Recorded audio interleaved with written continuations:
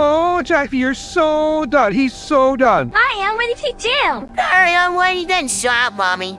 He knows exactly what he did. He burned out all his stuff I was trying to over my house payment. Oh my god, Jeffy, I can't believe you did that. I thought we raised you that. Oh my god, I can't believe we did that. I raised back some, mommy. I suck. Well, he's done. He's getting punished. Yeah, I'm gonna punish you so hard, Jeffy. That's really sus, Daddy. Suck that. Shut up. What should I do first to him, Rosalina? I don't know, maybe grounded for a month? A month? How do you like that, Jeffy? I'm like grounded for a month. Yeah, a month. We to say about that. Alright, Jeffy, two months if you're not gonna say anything. If I ignore him, then he uh, had punished me. Well, why isn't he answering us? He's ignoring you, Marvin. He wants to play that game, huh? Alright, three months, Jeffy. Jeffy, then four months. Five months. He's Six months.